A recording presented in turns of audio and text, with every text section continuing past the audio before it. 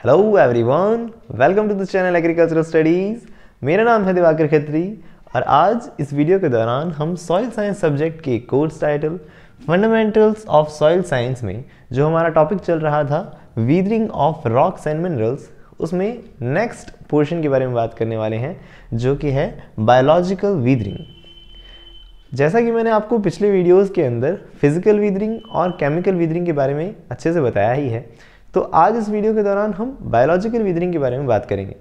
वैसे पिछले वीडियो के अंदर मैंने आपको कुछ हिंट तो दे ही दिया था कि बायोलॉजिंग बायोलॉजिकल वीदरिंग क्या है है ना? तो उसके बारे में आज थोड़ा डिटेल से हम बात करेंगे।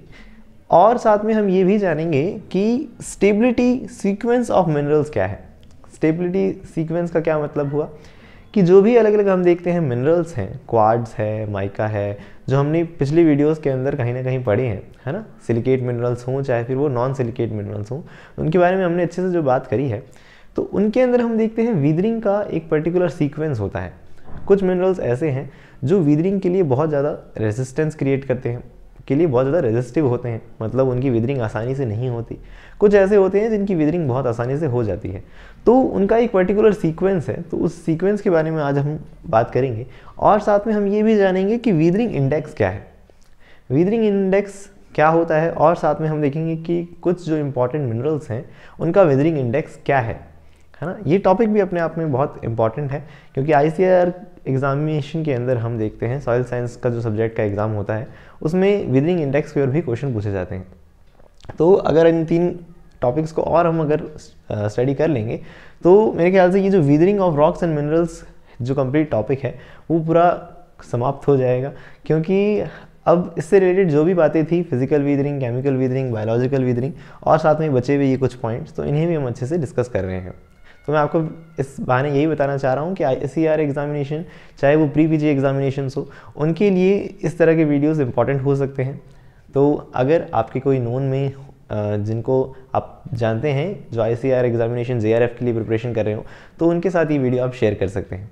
ओके साथ ही मैं आपको फिर से बताना चाहूँगा कि फंडामेंटल्स ऑफ़ सॉइल साइंस के ही पिछले वीडियोस जो हैं, उनके अंदर हम अलग अलग टॉपिक्स पर अच्छे से बात कर चुके हैं। अगर आपने वो वीडियोस नहीं देखे हैं तो उनके लिंक ऊपर आई बटन के साथ नीचे डिस्क्रिप्शन बॉक्स में अवेलेबल है। आप चाहें तो उन्हें देख सकते हैं।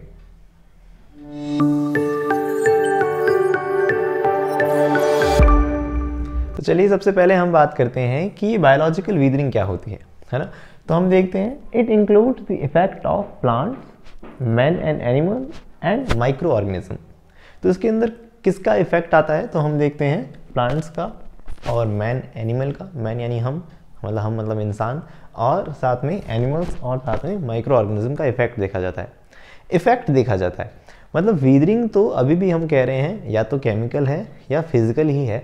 लेकिन यहाँ बस एक एजेंट जुड़ चुका है एक लिविंग ऑर्गेनिज्म जुड़ चुका है तो इसे हम क्या कह देते हैं? बायोलॉजिकल विदरिंग कह देते हैं। है ना? बायोलॉजिकल विदरिंग अलग से कुछ नहीं है। केमिकल और या, या तो केमिकल विदरिंग है या फ़िज़िकल विदरिंग ही है। लेकिन उनके अंदर ही करने वाला कौन बंदा है? तो हम देख रहे हैं कोई लिविंग ऑर्गेनिज्म है, जिसको हम कह रहे हैं या तो वो प्लांट है, या मैन या एनिमल है, या फिर वो माइक्रो ऑर्गेनिज्म है।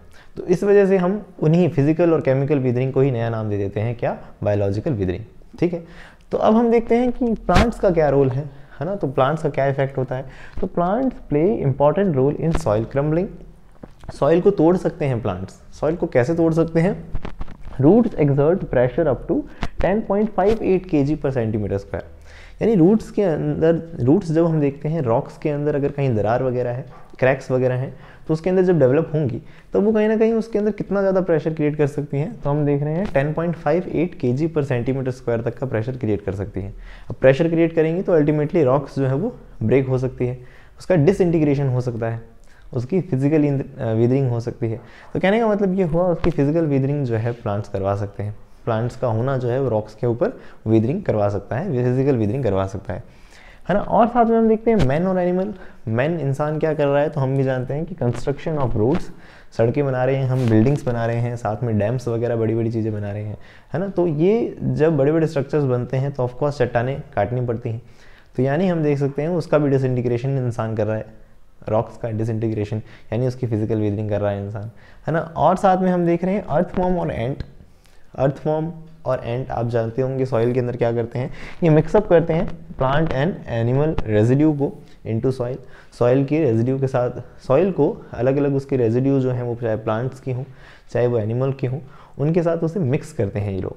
कौन? अर्थवॉर्म और एंट साथ में आप भी जानते होंगे कुछ ना कुछ ये कार्बोनिक एसिड्स वगैरह भी छोड़ते हैं, जिससे हम देखते हैं कि अल्टीमेटली जो है सॉइल स्ट्रक्चर जो है वो कहीं ना कहीं ह्यूमस में क्रिएट होने लगेगा। है ना? तो ह्यूमस वगैरह के अंदर जैसी कंडीशंस क्रिएट होंगी तो अल्टीमेटली आप भी जानते हैं कि उससे केमिकल विदरिंग बढ़ सकती है है ना? तो केमिकल विदरिंग जो है वो रॉक्स की इन एनिमल्स की वजह से हो सकती है। रोडेंट्स वगैरह जो होते हैं जो ज़मीन को खोद देते हैं वो अल्टीमेटली कहीं ना कहीं एक्सपोज कर सकते हैं फ़िज़िकल वीदरिंग या केमिकल वीदरिंग के लिए आ, किसी पर्टिकुलर रॉक को है ना? तो कहने का मतलब ये एनिमल्स के अंदर अर्थमॉम एंड रोडेंट्स वगैरह आप याद रख सकते हैं। रॉडेंट्स मतलब आप जानते हैं, चूहे वगैरह जिसको हम कह देते हैं ना, बिल बनाने वाले लोग होते हैं। और साथ में हम देखते हैं माइक्रो ऑर्गेनिजम्स माइक्रो ऑर्गेनिजम्स के अंदर तो कौन लोग फ़ेमस हैं?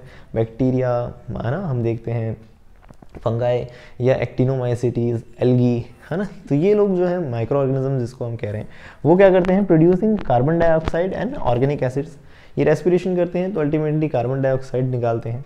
कार्बन डाइऑक्साइड्स ऑर्गेनिक एसिड्स इसकी वजह से केमिकल वीदरिंग जो है वो एस्केलेट होती है उसको बढ़ावा मिलता है। है ना? तो कहने का मतलब ये हुआ माइक्रो ऑर्गेनिज्म भी अपने आप में वीदरिंग का एजेंट हो सकते हैं। है ना? तो माइक्रो ऑर्गेनिज्म की वैसे बात आती है तो एक आप हाँ, वैसे तो प्लांट के अंदर लिखा जाता है कि लाइकेन वर्ड को भी आप याद रखते हैं। लाइकेन बहुत फ़ेमस क्वेश्चन रहा है। आपने भी जब भी सुना होगा लाइकेन को बहुत। है ना? लाइकेन मतलब आप भी जानते हैं एक सिम्बायोटिक रिलेशन होता है। फंगस और एलगी के बीच का। तो फंगस और एल्गी के बीच का ये जो सिम्बायोटिक और आ, हम देख रहे हैं कहीं ना कहीं जो कॉम्बिनेशन है एक तरह से तो वो जो आ, इनका रिलेशन है लाइकिन वो रॉक्स के ऊपर जब होता है तो वो भी कहीं ना कहीं एसिड्स वगैरह सिक्रेट करता है तो उससे भी उसकी विदरिंग होती है। तो ये लाइकिन को भी आप विदरिंग के अंदर याद रखें। बायोलॉजिकल विदरिंग के अंदर आप याद रखें ओके तो इस तरह से हमने कुछ बातें जानी बायोलॉजिकल विदरिंग के बारे में ओके तो चलिए इस वीडियो की सबसे इंपॉर्टेंट पॉइंट के बारे में बात करते हैं, जो कि है stability sequence stability sequence of what of different minerals है ना? कि अलग अलग मिनरल्स का अगर स्टेबिलिटी का हम सीक्वेंस देखें तो सबसे ज़्यादा स्टेबल कौन होगा? जिसकी वीदरिंग सबसे कम होती हो। है ना? जिसकी वीदरिंग सबसे कम होती हो तो इसका मतलब वो वीदरिंग के लिए सबसे ज़्यादा रेजिस्टिव है। मतलब एक तरह से रेजिस्टेंस क्रिएट कर सकता है वो। है ना? तो सबसे ज़्यादा रेजिस्टेंस जो है, आप भी जानते हैं कि क्वार्ड्स में होता है। कि जो है वो मोस्ट रेजिस्टेंट मिनरल है टुवार्ड्स वीदरिंग है ना? तो उसकी वीदरिंग आसानी से नहीं हो पाती। ऐसा ही ओ टू सिलिका जिसके रूप में हम देखते हैं क्वार्ट्स का जो मेन फॉर्मूला होता है। तो कहने का मतलब ये हो गया कि वो मोस्ट रेजिस्टेंट है। तो जो बाकी मिनरल्स हैं, उसको एक सिंप्लीफाइड फॉर्म के अंदर एक सीक्वेंस में क्रिएट किया गया है यहाँ पे, है ना? इससे पहले एक लाइन पढ़ लेते हैं हम कि the weathering of common primary mineral is illustrated by stability series stability series नाम से इसको अगर हम इलस्ट्रेट करें तो वो किसने सबसे पहले प्रपोज किया गया था, किसने किया था? तो वो गोल्डिच ने किया था 1938 में। अभी गोल्डिच का नाम आप ज़रूर याद रखें, स्टेबिलिटी सीरीज़ किसने दी थी? गोल्डिच ने दी थी, ये इंपॉर्टेंट पॉइंट है ओके वहीं अब उसकी जो ये स्टेबिलिटी सीरीज़ है, वो देखने में थोड़ी सी क्या होती है कॉम्प्लेक्स होती है, उसको एक बार में हम याद नहीं कर पाते। तो उसका एक सिंप्लीफाइड फॉर्मेट यहाँ लिखा गया है कि भाई सबसे ज़्यादा रेजिस्टेंट जो है, वो है क्वाड्स उससे कम है मस्कोवाइट मस्कोवाइट बायोटाइट आपने पढ़े हैं माइका के अंदर। अगर आपने पिछले वीडियोस देखे हैं तो मस्को वाइट वाइट कलर का माइका होता है जबकि बायोटाइट ब्लैक कलर का माइका होता है ना। तो फिर ये एक तरह का माइका हो गया मतलब जो फाइलोसिलिकेट में पढ़ा था हमने। क्वार्ड्स किसमें पढ़ा था? टेक्टोसिलिकेट में पढ़ा था है ना? तो ये क्वार्ड्स से कम रेजिस्टेंट है आ, माइका मतलब जो मस्कोवाइट और मस्कोवाइट से कम फेल्सपार है। फेल्सपार से कम जो है रेजिस्टेंट वो है बायोटाइट बायोटाइट से कम रेजिस्टेंस हॉर्न ब्लेड है। हॉर्न ब्लेड से कम है कैल्साइट कैल्साइट से कम है ऑलिवाइन ऑलिव नहीं है ये ऑलिवाइन है।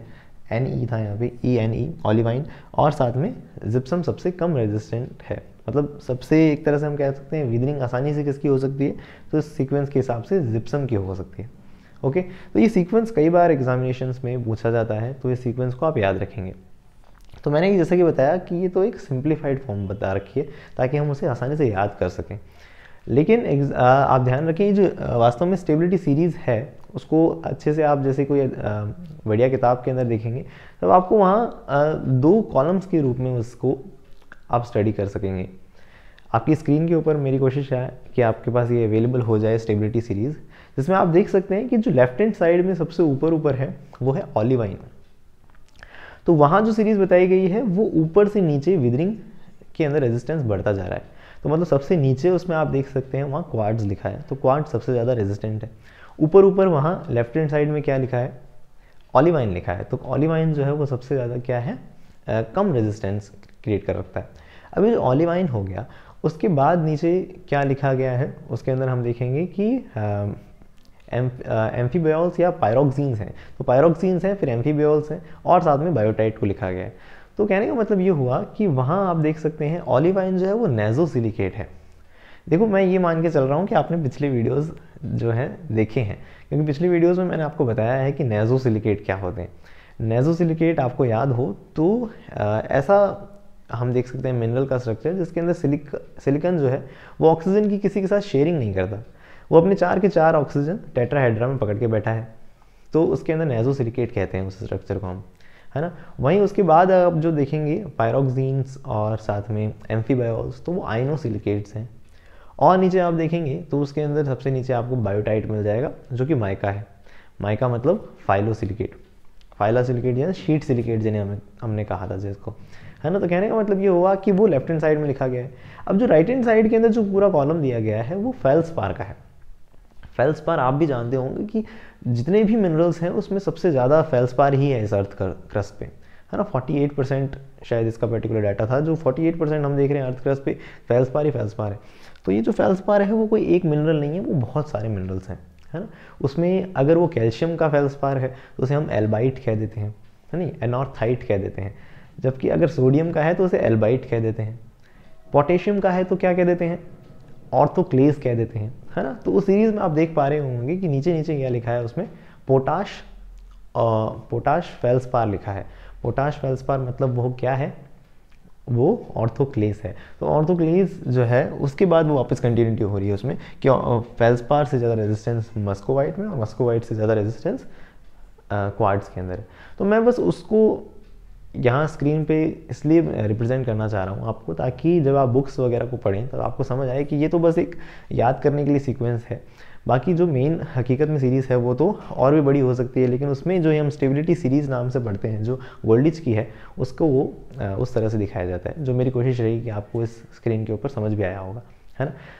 तो अब नेक्स्ट जो है पॉइंट उसके अंदर हम वीदरिंग इंडेक्स के बारे में और बात करेंगे, जो कि अपने आप में भी बहुत ज़्यादा इंपॉर्टेंट टॉपिक है। लेकिन उससे भी अगेन मैं आपको कहूँ इंपॉर्टेंट कोई है तो वो यही टॉपिक है स्टेबिलिटी सीरीज़ को। तो आप उसको ज़रूर अच्छे से याद रखें ओके तो चलिए अब हम बात करते हैं वीदरिंग इंडेक्स के बारे में, है ना? तो वीदरिंग इंडेक्स होता क्या है? तो पहले देखिए, होता क्या है? इससे पहले एक इंपॉर्टेंट चीज़ देखिए कि ये गिवन गिवन बाय मतलब दिया किसने था? दिया किसने था? तो जैक्सन ने 1964 में दिया था। ये इंपॉर्टेंट पॉइंट है, आप इसे याद रखेंगे। जैक्सन ने। गोल्डिच ने क्या दिया था? सीरीज़ दी थी, जबकि ये इन्होंने इंडेक्स दिया है। ओके तो इसे याद रखेंगे आप। और हम देख रहे हैं कि विदरिंग इंडेक्स डब्ल्यू आई मतलब weathering index may help the may help to array the clay size minerals array मतलब एरे मतलब एरे वापरे वाला एरे नहीं एरे मीन्स मतलब वो एक डिस्प्ले एक तरह का, या अरेंजमेंट जो आपको दिखाया गया है है ना? स्क्रीन पे मेरी कोशिश है कि ये जो विदरिंग इंडेक्स कंप्लीट जो भी लिस्ट है, वो आपके सामने अवेलेबल हो जाए ताकि आप उसे रीड कर सकें, है ना? तो वो कंप्लीट एक तरह का अरेंजमेंट जो आपको रिप्रेजेंट किया गया है, वो हमें हेल्प कर सकता है है ना? May help to array the clay size mineral clay size minerals को भी हम स्टडी कर सकें कि उनकी विदरिंग कैसे होती है, या कितने की नहीं हो पाती है, या रेजिस्टेंस कौन रेजिस्टेंस किसमें है विदरिंग के लिए, है ना? According to the weathering sequence weathering sequence के रूप में हम उसे स्टडी कर सकें। तो कहने का मतलब ये हुआ, अभी तक जो हमने पीछे पढ़े, उसके अंदर सेकेंडरी मिनरल्स नहीं थे, आपने ध्यान दिया हो तो है ना? प्राइमरी मिनरल्स ही थे मेन बड़े बड़े। अब वो सेकेंडरी मिनरल्स या क्ले मिनरल्स जिन्हें हम कह देते हैं, है ना? तो वर्मिकोलाइट्स मॉन्टपोलोनाइट पिछली वीडियोस अगर आपने देखे हैं तो उसमें two ratio one one ratio one है ना? One ratio two ratio one है ना? इस तरह से हमने जो one ratio one ratio two और ऐसे करते हुए जो हमने वो पढ़े हैं अलग अलग टाइप्स ऑफ़ क्ले मिनरल्स पढ़े हैं। तो उनके, उनको भी अगर हम विदरिंग के सीक्वेंस के अंदर देखें तो वो आपके सामने एक अवेलेबल है चार्ट तो उससे आप स्टडी कर सकते हैं। तो देखो, आप जब उस चार्ट को स्टडी करेंगे तो आपको समझ आएगा कि kaolinite are the most resistant phyllosilicate mineral kaolinite का आईसीआर एग्जामिनेशन में पिछले साल क्वेश्चन पूछा गया था कि उसका विदरिंग इंडेक्स क्या होता है। पिछले साल आ, हो सकता है आप ये वीडियो तीन साल बाद देख रहे हैं अपलोड होने के। तो ऐसा समझ लीजिए 2022 के अंदर आई 2022 के अंदर ये एग्जामिनेशन में पूछा गया था कि विदरिंग इंडेक्स क्या है केवल केवलिनाइट का। है ना? तो केवल केवलिनाइट का विदरिंग इंडेक्स क्या है? तो आप समझ रहे हैं चार्ट में देख के आप बता सकते हैं कि वो टेन है। है ना? तो वो पूछा गया था सिंपली तो उसका विदरिंग इंडेक्स इतना ज़्यादा है तो इसका मतलब उस वो भी क्या होता है? मोस्ट रेजिस्टेंट हो गया एक तरह से। लेकिन किसमें मोस्ट रेजिस्टेंट हो गया? तो वो फाइलोसिलिकेट्स में। फाइलोसिलिकेट्स जिन्हों हम कह देते हैं ना? एक तरह का शीट सिलिकेट्स जिन्हें हम कहते हैं तो उसके अंदर क्या हो गया? मोस्ट जो वन रेशो वन टाइप का हमने पढ़ा भी था उसके बारे में, जिसकी एक्सपेंडिंग नहीं होती है है ना? पिछले वीडियोस देखे हैं तो आपने, या फिर आपको ऑलरेडी इन चीज़ों के बारे में नॉलेज है तो आप समझ रहे होंगे कि मैं क्या कहना चाह रहा हूँ, है ना? और साथ में हम देखते हैं कि अब जिसमें से जो और, अब एक बार केवल नाइट पे क्वेश्चन आ चुका है तो हो सकता है कि फिर अब मॉन्ट मोरेलो नाइट पे आ जाए, है ना? मॉन्ट मोरेलो नाइट जो होता है वो ब्लैक सॉइल के अंदर होता है। एक्सपेंडिंग टाइप का होता है मतलब उसमें स्वेलिंग देखी जाती है पानी उसमें ऑब्जॉर्व करके वो फूल जाता है मतलब एक तरह से स्वेलिंग हो जाती है उसमें। हमने पहले अच्छे से बात कर रखी है इन सब चीज़ों के बारे में है ना? तो अगर आपने अगेन मैं कह रहा हूँ पिछले वीडियोस नहीं देखे हैं तो आप उन्हें ज़रूर देख लें क्योंकि आ, सारी चीज़ें आपस में कनेक्टेड हैं। आप अगर पीछे वाली चीज़ों को अच्छे से ग्रैप करते आएँगे तो आगे चीज़ें आपको याद करना बड़ी आसान हो जाएँगी है ना? तो उसमें आप देखेंगे अब इस चार्ट को आप ऑब्ज़र्व करेंगे तो जिप्सम का वन है ओनली यानी उसकी विदरिंग आसानी से हो सकती है। ऑलिवाइन हॉर्न ब्लेड का थ्री है। और साथ में क्वार्ट्स का सिक्स है। क्वार्ट्स के बाद जो लोग हैं वो क्ले मिनरल्स बताए गए हैं, यानी वर्मिकुलाइट्स का जैसे थ्री है। मॉन्ट मोरिलनाइट का नाइन है है ना? ये इंपॉर्टेंट है, याद रखें यहाँ वर्मिकुलाइट और मॉन्ट मोरिलनाइट वर्मिकुलाइट क्या थे? लिमिटेड एक्सपेंडिंग थे। एक्सपेंडिंग तो होती है, लेकिन ज़्यादा नहीं हो पाती है है ना? हमने पीछे वीडियोस में अच्छे से बात करी है। और केवलिनाइट क्या है? जिसका हमने, मैंने आपको बताया ये अभी विदरिंग इंडेक्स टेन है। गिप्साइड का gibbsite A L two O three जिसे हम कहते हैं है ना? एल्यूमिनियम का ऑक्साइड होता है। उसकी और ज़्यादा यानी एलेवन है आ, उसका विदरिंग इंडेक्स तो ये कुछ इंपॉर्टेंट जो मुझे लगे वो मैंने पर लिख दिए। बाकी चार्ट आपके सामने है ही आप उसे पूरा उतार लें ताकि एग्जामिनेशन में से कोई भी पूछ लिया जाए तो आप उसे आंसर कर सकें है ना? तो मैं बार बार आपको ये बोल रहा बोल रहा हूँ कि पिछले वीडियोस पिछले वीडियोस तो आप नाराज़ ना हो या इरीटेट ना हो। क्यों? क्योंकि मैं इसीलिए कह रहा हूँ क्योंकि ये चीज़ें आपस में रिलेटेड हैं तो आप चीज़ों को और अच्छे से लर्न कर सकते हैं ओके तो ये था हमारा आज का वीडियो और हमेशा की तरह इस वीडियो में मैंने आपको जो कुछ भी एक्सप्लेन किया है, मेरी कोशिश है उसकी एक पीडीएफ फॉर्म नीचे डिस्क्रिप्शन बॉक्स में अवेलेबल हो, ताकि आप उसे डाउनलोड करके आराम से पढ़ भी सकें। साथ ही मैं आपको बताना चाहूँगा कि फंडामेंटल्स ऑफ़ सॉइल साइंस के ही हमने और भी जो टॉपिक्स हैं, उन्हें पिछले वीडियोज़ में कवर कर लिया है। अगर इन केस आपने वीडियोज़ नहीं देखे हैं तो उनके लिंक ऊपर आई बटन के साथ नीचे डिस्क्रिप्शन बॉक्स में अवेलेबल हैं। आप चाहें तो उन्हें देख सकते हैं। साथ ही मैं आपसे रिक्वेस्ट करूँगा कि अगर आपके लिए वीडियो हेल्पफुल हो, और आपको पता हो कि और भी कोई इंसान जो ICAR या कोई भी प्री पी जी एग्जामिनेशन की प्रिपरेशन कर रहा हो स्पेसिफिकली अगर उसे सॉइल साइंस के अंदर सब्जेक्ट्स वगैरह सॉइल साइंस सब्जेक्ट पे वीडियोस चाहिए हों लेक्चर वीडियोस तो आप उस, इस वीडियो को और साथ में इस तरह के जो फंडामेंटल्स ऑफ़ सॉइल साइंस की वीडियोस हैं, उन्हें उस इंसान को शेयर कर सकते हैं, ताकि इस चैनल को तो सपोर्ट मिले ही साथ साथ में उस इंसान की भी हेल्प हो सके, कि वो आई की अच्छे से प्रिपरेशन कर सके। और साथ में मैं कहूँगा कि आप इस वीडियो को लाइक ज़रूर करें क्योंकि इस वीडियो को लाइक करने से इस चैनल को सपोर्ट तो मिलेगा ही। और भी जो इस चैनल की वीडियोस हैं यूट्यूब आपको लगातार रिकमेंड करता रहेगा। तो इस चैनल से आप और अच्छे से जुड़ सकते हैं। एट लास्ट आपको एक ये बा, ये बात भी बता दूँ कि अगर आप जनरल एग्रीकल्चर की नॉलेज और क्वेश्चन आंसर्स में इंटरेस्ट रखते हैं तो आप हमें इंस्टाग्राम पर फॉलो कर सकते हैं।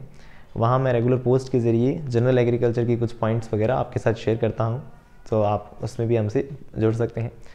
तो इसी तरह की वीडियोस के लिए जुड़े रहिएगा एग्रीकल्चरल स्टडीज़ से।